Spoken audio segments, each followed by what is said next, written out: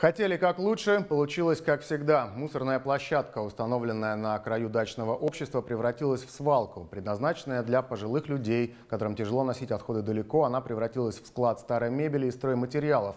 О том, как одна мусорка рассорила дачников и председателя в сюжете Александра Попова. Поначалу соседи радовались тому, что еще одно коммунальное удобство стало ближе. Но ровно до появления вот этого кресла вслед за ним свалка вокруг баков – с каждым месяцем стараниями нескольких нерадивых дачников только разрасталась. Они стали эту мусорку превращать в свалку. То есть начали постепенно возить одно, второе, третье. Делали замечания, которые везли тележками и все прочее, что зачем вы здесь свалку делаете? На что дачники отвечали, уже свалка организована. Поэтому мы сюда все и везем. А вот отсюда вывозить почему-то уже несколько месяцев не получается. Руководство общества ссылалось на сложности с подъездом мусоровозов. Роман Одноприенко даже забор перенес, оставив угол для свободного проезда. Не помогло. Все, что сверху лежит, летит ко мне в участок.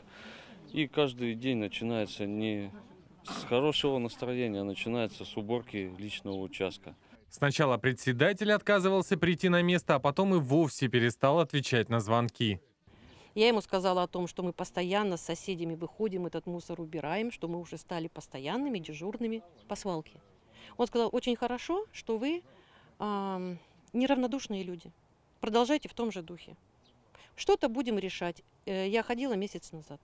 Операторы экологии Новосибирск нас заверили, что вывозят мусор постоянно, но для крупногабаритных отходов нужна отдельная заявка. Ее от СНТ «Волна-1» пока не поступала. До председателя мы все же дозвонились. Причинами мусорного бедствия он назвал несознательность дачников и сложности технологии вывоза, в которой даже охранники задействованы. Сегодня вечером он мне позвонит и скажет, что на 10 улице проезд э, не загроможден, не, не загорожен.